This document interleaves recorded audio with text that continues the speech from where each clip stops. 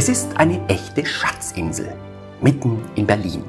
Fünf weltberühmte Museen, 4000 Jahre Menschheitsgeschichte und ein Ort, an dem eine große Vision gerade Wirklichkeit wird.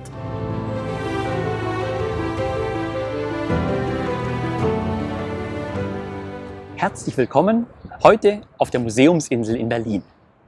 Seit der Wende, seit über 30 Jahren, wird hier auf der Museumsinsel geplant, renoviert und gebaut. Und noch immer ist kein Ende in Sicht. Denn umgesetzt wird eine gigantische Vision. Aus fünf verschiedenen Museen soll ein großes Museum werden. Ein Weltmuseum der Superlative. Ein deutscher Louvre.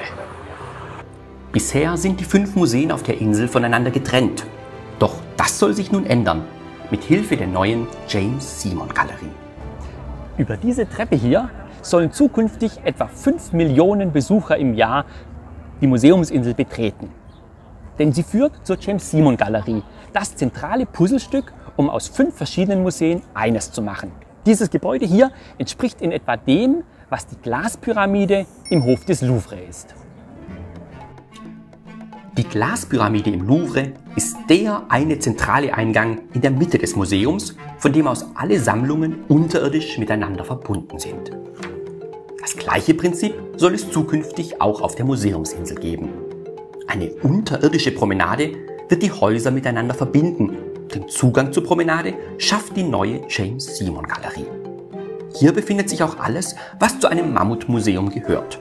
Vortragsräume, Shops, WCs, riesige Garderoben und ein Café direkt über der Spree.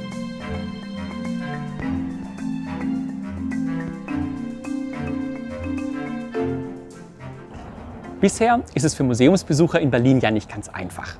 Es gibt auf der Museumsinsel zwar die alte Nationalgalerie, da sind auch Gemälde drin, die Gemäldegalerie ist aber nicht auf der Museumsinsel. Es gibt hier ein neues Museum, ein altes Museum und eine alte Nationalgalerie.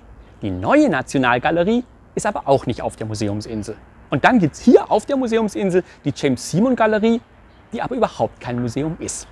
Zeit, hier also ein bisschen Klarheit reinzubringen. Mit dem Alten Museum fing es an.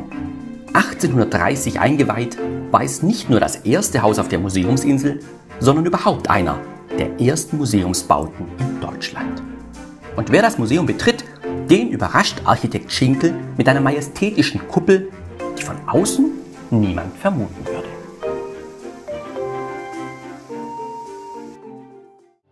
Wo ein altes Museum ist, kann das neue Museum nicht weit sein. Es liegt direkt dahinter und beherbergt das Ägyptische Museum mit der zeitlos schönen Nofretete. Und ebenfalls zeitlos schön das Treppenhaus auf dem Weg zu ihr. Tja, und dann gibt es dann noch das Bode-Museum an der Spitze der Museumsinsel. Unter der Kuppel eröffnet sich im Innern ein prunkvoller Eingangssaal mit großartigen Treppen, kunstvollen Geländern, Gold und Marmor. In diesem prachtvollen Rahmen ist die Skulpturensammlung aufbewahrt.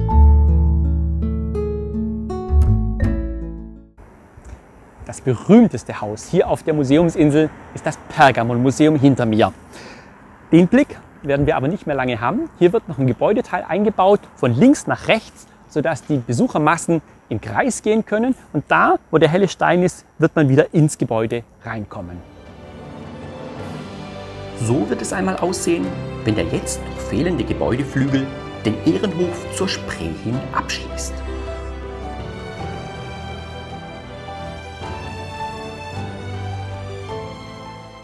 Das Pergamon-Museum liegt im Zentrum der Museumsinsel und beherbergt die wohl berühmtesten Kunstschätze.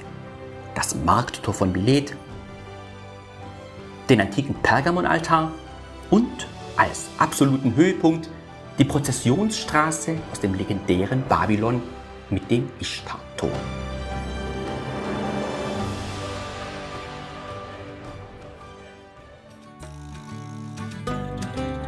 Mit ein paar Ziegelstücken im Wüstensand fing alles an. Die Archäologen brachten sie kistenweise nach Berlin und setzten sie wieder zusammen. Seither kann man eintauchen in die Welt Nebukadnezars, der es vor 2600 Jahren erbauen ließ. Ich, Nebukadnezar, legte das Fundament der Tore und ließ sie aus lauterem Blaustein herstellen. So steht es noch immer auf der Inschrift am linken Rand des Tores. Dass das noch heute zu lesen ist, mitten in Berlin, kommt mir immer wie ein kleines Wunder vor.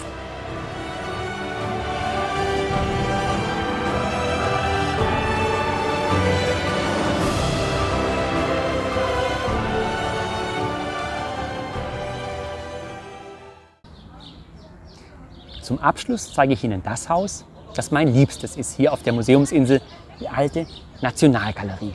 Ein Tempel der Kunst, der auch als Tempel gebaut wurde und der Berlin den Beinamen Spree-Athen einbrachte.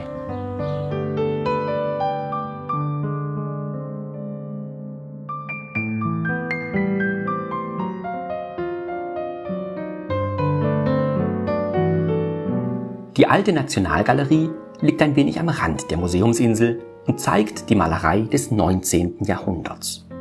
Schätze wie Monet, Max Liebermann und die Malerei der Romantik mit Caspar David Friedrich.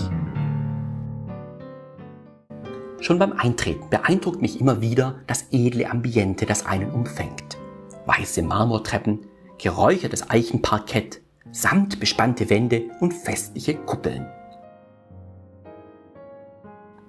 Unter den Bildern haben es mir vor allem die Werke von Adolf Menzel angetan. Sie prägen bis heute unser Bild von Friedrich II., den er häufig darstellte. Ganz wunderbar sind auch die kleinen Kabinette, in denen man mit etwas Muße unglaublich viel entdecken kann, wenn man in die Bilderwelten eintaucht.